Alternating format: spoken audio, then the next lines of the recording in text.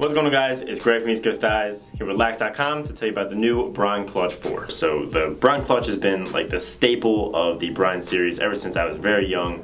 Uh, they've had it around and this is the Clutch 4. That doesn't necessarily mean that this is the fourth clutch. Uh, there's been a lot in between that didn't fall under a number, um, but this is the latest and greatest in the Brine Clutch line. So uh, they haven't released a price yet. It's not available for sale yet, but uh, it'll probably be somewhere in the $100 range. That's what the Clutch 3 is selling for right now, so somewhere right around $99, just like most other high-end heads. It's gonna come in an X spec and a high school spec. Here we have the high school spec. It'll also come in black, red, royal, gray, and white. For the weight on this head, uh, we weighed it in at 5.2 ounces which is a little bit heavier, but they definitely made it a lot stiffer. Uh, by comparison, the last clutch was the Brine Clutch Elite, and that thing was all the way down to 4.1 ounces, easily one of the lightest heads available. Uh, so for this one, I think they decided it was better to have a little bit more stiffness, up the weight a little bit, and up at 5.2. To give you some frame of reference, uh, like the Optik and the Centrik are both down in the mid fours. Uh, the STX Surgeon 500 is at 5.1, uh, so it's on the, the heavier end of light heads these days, uh, but it's also on the stiffer end. All right, so let's start with the changes in look for the Brine Clutch 4. So you're gonna see that it has sort of the same styling points, it has the same offset, they're true offset technology, so a dip right at the beginning, right by the throat, about an inch up, and then stays straight uh, for the rest of the way and returns a little bit at the very end. Has the classic Brine Clutch styling with the same sidewall pattern, uh, they've straightened it out a little bit and given it, given it a little bit more of a futuristic look. Uh, you can see that here they're a little bit more swoopy and wavy and they've moved into just more straight lines, really clean and simple and I really like that improvement. Uh, they have a new design on the top which is pretty much just texture, has some indents that grow uh, shallower and a little bit smaller as you go up the head with a texture inside of them. One of the bigger technologies recently in the clutch has been the Cortec technology, which is where they take one material from the inside of the head that makes it lighter, but creates a structure where it's not getting a lot weaker with that lightness. Uh, so they've improved that where now it's just dimples in here. Uh, so as it used to be in the Clutch Elite, uh, they carved out almost all of the inside of the sidewall. Now they just have smaller dimples, it's more focused.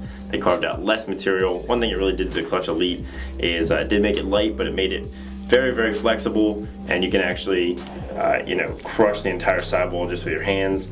Uh, so with this, they have a slightly heavier head, less material dug out, but way, way stiffer on the, uh, the pushing and pulling.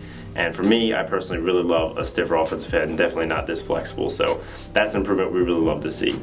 Other than that, more texture styling up on the top, on the outside of the sidewalls, inside of the sidewalls, nothing too crazy there, uh, just a little extra styling. Another big technology they've added to this, it's never been in one of their heads or a previous clutch model is their, uh, their VariFlex technology. So you can see down here in this gray plastic, it says VariFlex on it.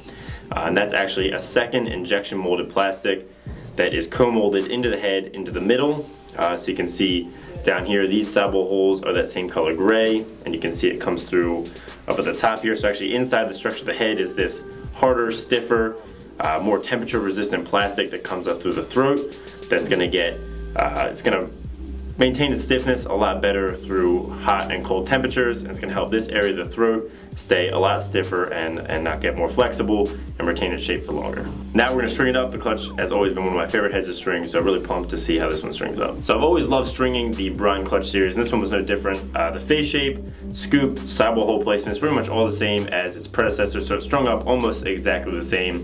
Uh, has a ton of sidewall holes, evenly spaced top string holes which are spaced really well, and the high and flare of the throat lends itself really well to a mid-high pocket, which is something I've used a lot in the past. So strung up with all white Hero Strings Hero Mesh pocket. Uh, with mid to mid-high, it'll shift up a little bit under those shooters.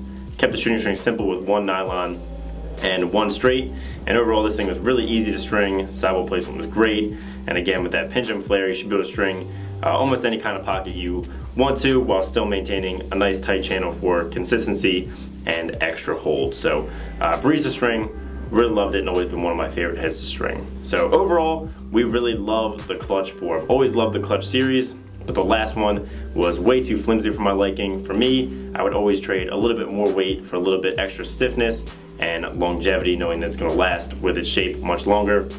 I think that the VariFlex technology is really nice and definitely helps keep the throat rigid. We'll be testing this through the winter to see how it holds up in colder temperatures.